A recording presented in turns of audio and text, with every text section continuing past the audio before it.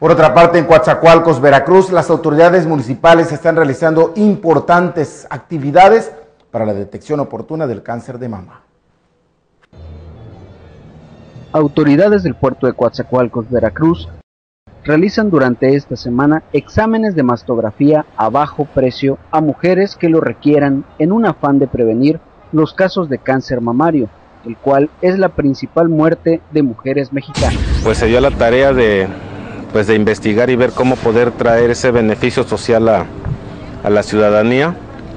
Logramos hacer el contacto con, esta empresa en México, de la cual desde hace ya como tres meses este, hicimos el trato y hasta las fechas que nos dieron ahora, que fue lunes y martes originalmente. Afortunadamente, bueno, una que hemos tenido bastante demanda, o sea, mucha aceptación. Una por el costo, que es de 350 pesos, cuando en el mercado, o sea, un particular te cobra arriba de hasta de mil pesos. Estas actividades han tenido éxito entre las mujeres porteñas, pues se llegan a atender hasta 100 pacientes durante el día.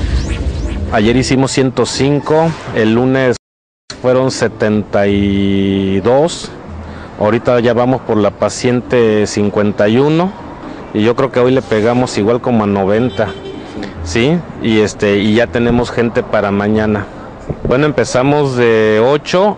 Hemos estado de ayer y, antier de 8 a 8. Ahora sí que de sol a sol. Para TVS Noticias, tvsureste.com.